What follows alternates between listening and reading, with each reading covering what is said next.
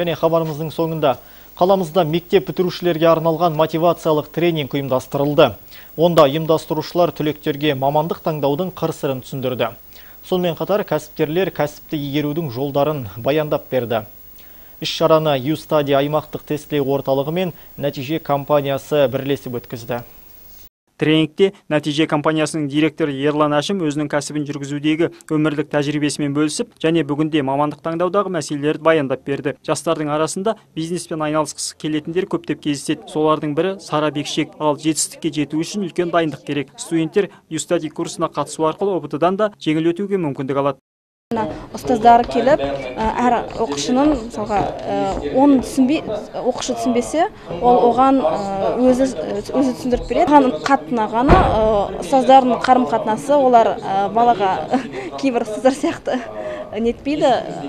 Кәдімгі сияқты қарамайды. Олар оларға тиянақты солай өте қызықты сонымен. Маған қатты ұнады.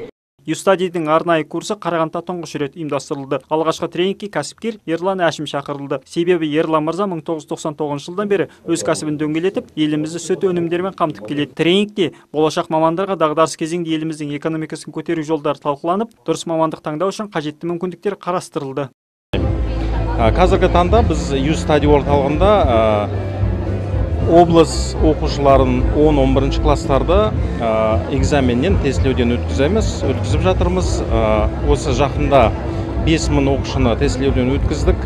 Және екінші сатысы ретінде қазір біз орталығымызда обучение яғни білім беруді бастағалы отырмыз.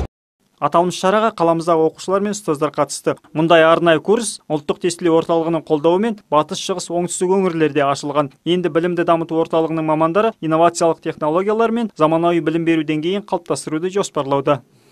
Жаңабек наров олжас ғаббасов дастан шанин бірінші қарағанды телеарнасы.